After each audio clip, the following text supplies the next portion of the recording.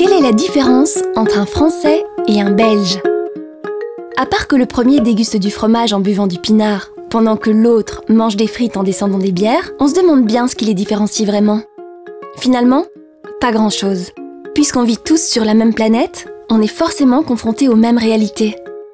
Par exemple, de Paris à Bruxelles, on est 65% à avoir l'impression que ce qu'on nous fait manger n'est pas forcément bon pour la santé.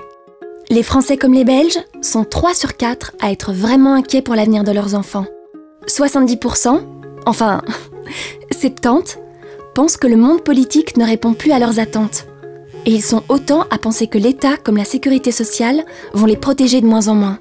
Le constat est clair, la perte de confiance dans les institutions va grandissante d'un côté comme de l'autre de la frontière. En France, comme en Belgique, on pense surtout que ce sont ses proches, ses amis, ou encore le médecin généraliste qui agissent pour nous aider. A l'inverse, monde politique, grandes entreprises, médias, banques et assurances ne semblent plus être au service du citoyen et de son bien-être. Et s'il fallait une confirmation supplémentaire de cette méfiance envers nos dirigeants, les Belges comme les Français sont à peine plus d'un sur trois à penser que le monde politique dispose encore de la capacité à changer les choses. Alors finalement, qui gouverne notre monde? Le fric Le blé La thune Ça craint. Pour 87% des Français et des Belges, l'argent et la finance tiennent une place beaucoup trop importante dans la société actuelle. Et 3 sur 4 expriment une vive inquiétude à l'encontre du système économique et financier. C'est donc assez naturellement que les gens trouvent refuge dans leur famille, au point de considérer pour deux tiers des Belges et des Français quel est le seul endroit où l'on se sente bien. Bizarre. À une époque où les moyens de communiquer, d'échanger et de partager n'ont jamais été aussi présents. Et notre société qui pourrait être celle du partage s'avère être de plus en plus celle des inégalités.